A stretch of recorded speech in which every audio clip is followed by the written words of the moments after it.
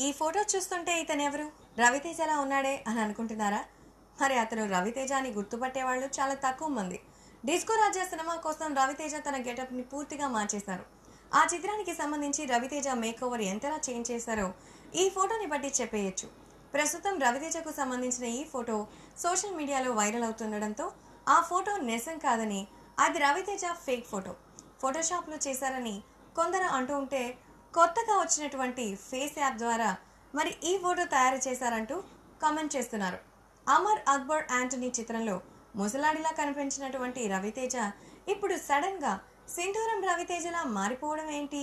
ఇది ఖచ్చితంగా face app ఫోటోనే అంటూ భిన్నంగా స్పందిస్తున్నారు నెటిజన్లు. ఎందుకలా?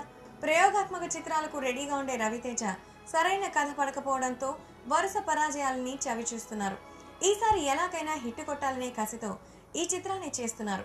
అందుకు తగ్గట్టుగానే తన మేకోవర్ ఏ రేంజ్లో ఉందో చెప్పేందుకు ఈ ఫోటోని వదిలినట్టు తెలుస్తోంది.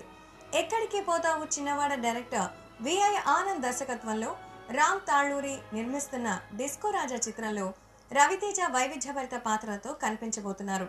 యాక్షన్ రివెంజ్ డ్రామాగా తెరకెక్కుతున్నటువంటి ఈ చిత్రంలో రవితేజ పాత్రలో డిఫరెంట్ షేడ్స్ ఉన్న పాత్రలో కనిపించబోతున్నారు.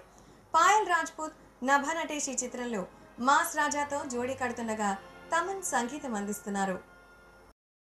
మా వీడియోస్ మీకు నచ్చినట్లయితే లైక్ షేర్ సబ్స్క్రైబ్ చేయండి.